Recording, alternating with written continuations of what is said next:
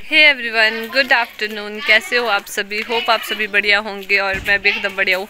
हम अभी अभी मंदिर से आए हैं। आपने पिछले ब्लॉग में देखा होगा अगला ब्लॉग में अभी शूट कर रही हूँ पर आपका स्वागत करना तो ज़रूरी होता है ना क्योंकि ये ब्लॉग अलग बनेगा। और वो मंदिर वाला ब्लॉग मैंने अलग बनाया होगा। जैसा भी बनाऊँगी मुझे खुद ही नहीं पता मैं कैसे मिक्स एंड मैच करूँगी और कैसे अपलोड करूँगी। तो बाकी सब कुछ आज है। आज है मतलब हम पिछले कल रात को पहुँच गए थे, पिछली रात को। और हल्दी वगैरह आज है कन्नू की। यहाँ पे एक दिन की शादी होती है। पता नहीं, इनके रिवाज बहुत डिफरेंट है, हमारे रिवाजों से। चलो, जैसा भी है। अभी हम मंदिर से इसीलिए जल्दी जल्दी आए हैं। अभी कन्नू को हल्दी लगनी है और बारात शाम को आएगी आठ। चार पाँच बजे के करीब और आठ नौ बजे तक ले जाएँगे कन्नू को। और यहाँ पर लड़की के साथ भी नहीं जाता है कोई हमारे तो जाते हैं। देखो इनकी नौटंकी तो चलो जी अब guys welcome to my blog तो हमें यहाँ पे पता नहीं कहाँ पे देख सकते हैं आप ये ये बच्ची यहाँ पे मेरे सामने कुछ नहीं है। देख यहाँ पंडित जी कर रहे हैं पूजा की तैयारी और कन्नू उधर बैठी है। टाइम से पहुँच गए हम। और यहाँ पर पूजा स्टार्ट हो गई थी कन्नू के ऊपर और ऐसा ना कुछ भी नहीं हुआ। हल्दी कन्नू की शायद कल होगी थी, मुझे नहीं पता कि क्या कुछ हो रहा था क्योंकि इनके रिवाज बहुत डिफरेंट है। और यहाँ कन्नू के ऊपर पूजन हो रहा था, उसके बाद तोरण होना था मतलब मामा का स्वागत या फिर मामा को कुछ करना पड़ता है, वो सब कुछ। जो उन्ना है ना, वहाँ पे मामा मतलब लड़की की शादी में मामा का बहुत बड़ा रोल होता है तो पापा और यहाँ पे लगे हैं हवन करने पे। और मैं इससे पहले बता रही थी कि कन्नू को आठ बजे तक ले जाएँगे ये वो सो पर ऐसा कुछ भी नहीं है क्योंकि मुझे नहीं पता था बारात ही आठ नौ बजे के करीब आनी है और कन्नू के जो फेरों का टाइम है ना वो रात को तीन चार बजे का है तो बारात अगली सुबह ही जाएगी। बस इतना ही बाकी यह बन हो रहा है आप देख लीजिए।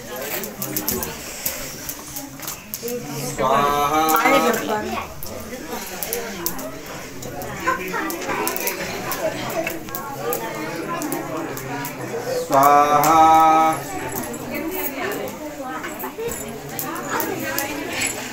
स्वाहा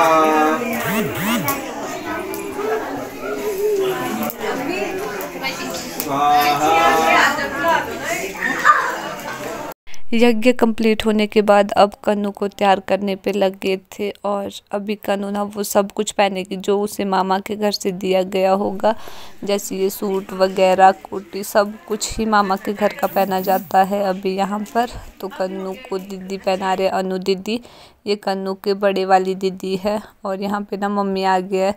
जो नथ हमने ली थी ना कन्नू के लिए आपने पिछले ब्लॉग में देखी थी। तो अभी कन्नू को वो पहनानी है और मम्मी देखो इधर कितने कन्फ्यूज़ है बेचारे, क्योंकि हमारे इधर पे नथ का उतना रोल होता नहीं है। हमारे इधर कोई पहनता नहीं तो मम्मी को पहनानी भी नहीं आती थी। तो मम्मा ने अनु दीदी को ही बोल दिया कि आप पहना लो। और यहाँ पे अनु दीदी ने कन्नू को नथ नथ कन्नू को नथ पहना दी थी।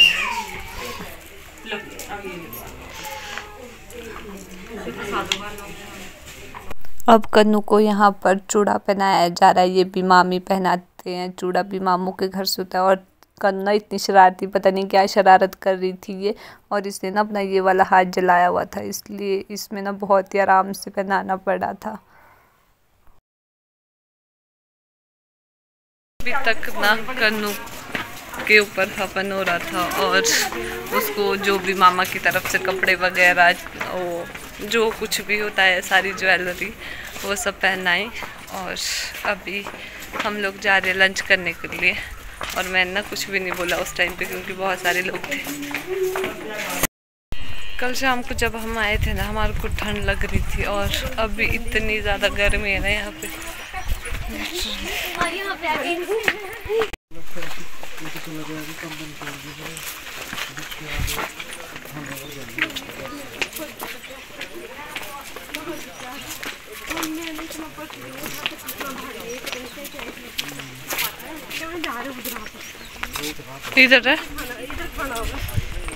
खाना खाने के बाद अब हम जा रहे हैं खेतों में टहलने के लिए, टहलने के लिए मतलब देखने के लिए। इधर देखो दीदी।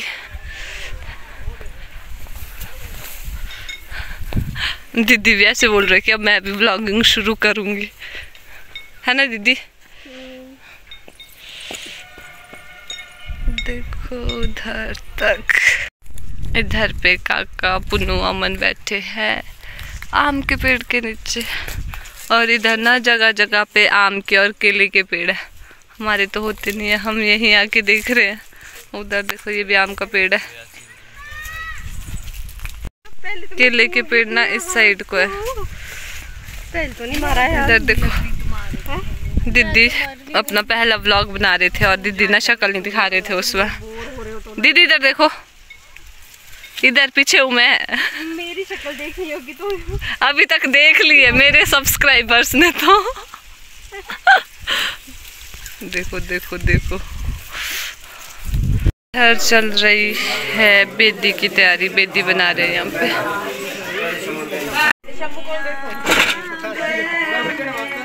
और जी हमारे स्वागत में ना ट्रेडिशनल गीत गाए जा रहे हैं। हाँ जी।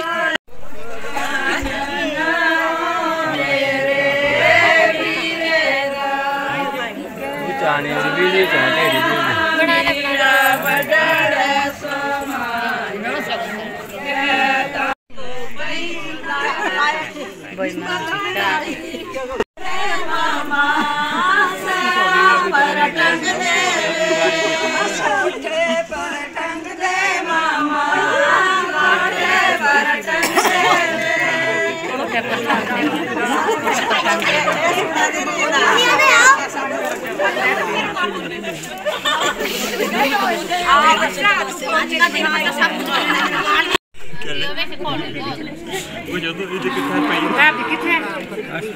साथ में आओ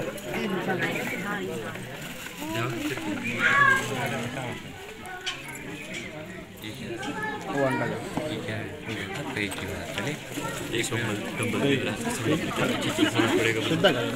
और यहाँ पर ये रिवाज ना बहुत ही डिफरेंट था। हमारी साइड पे ये होता नहीं है ये जो लकड़ी वाला गेट दिख रहा है ना इसको तोरन कहते हैं।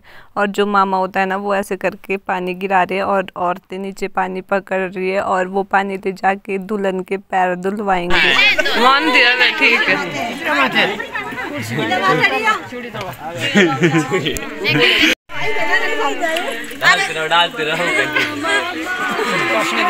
नहीं आई इस पानी सारो ना लाने के लिए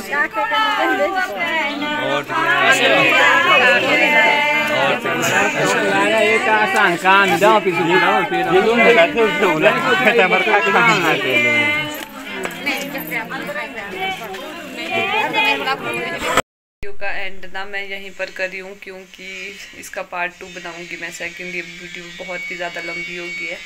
तो अगर आपको मेरी वीडियो अच्छी लगी तो वीडियो को लाइक करें शेयर करें और मेरे चैनल को सब्सक्राइब करना मत भूलना।